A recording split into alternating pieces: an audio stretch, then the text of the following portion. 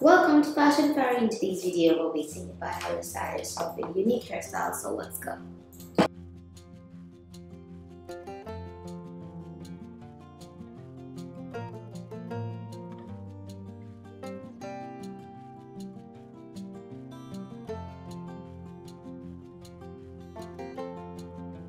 So friends, you can try going on with unique hairstyles like plaits, braids, and you can try going on with amazing and beautiful free hairstyle too with your unique floral jewelry like roses and many more. You can try going on with hair coloring to give it a more of a contrast look.